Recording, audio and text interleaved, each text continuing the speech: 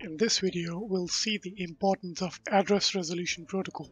So to talk to each other, computers need two things, IP address and MAC address. Now, I know the IP addresses of the PCs that I want to get to, so let's see how we find out the MAC address. So I'll try and ping 10.0.0.2 and you can see there's two packets generated. One is ICMP, but it's missing the layer 2 header. And the second packet is ARP packet, which is going out to the network as a broadcast. It's asking for the MAC address of 10.0.0.2. It's got the source information already in there, and this is going to be a broadcast. The 10.0.0.2 PC will now reply as a unicast message to my PC. So all the details are now complete.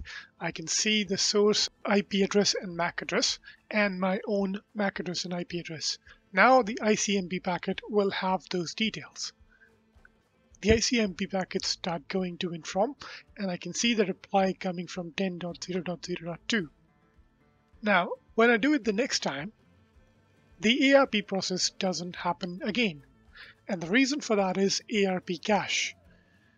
The computer stores the ARP information locally and you can see there you've learned the MAC address for the following IP address. But what happens if I try and ping a new IP address, dot 3 say? That entire process is now repeated again and now you're looking for the MAC address of 10.0.0.3 and after that happens you can see the ARP cache is updated and now you know the MAC address for 10.0.0.3. That's ARP. Thank you.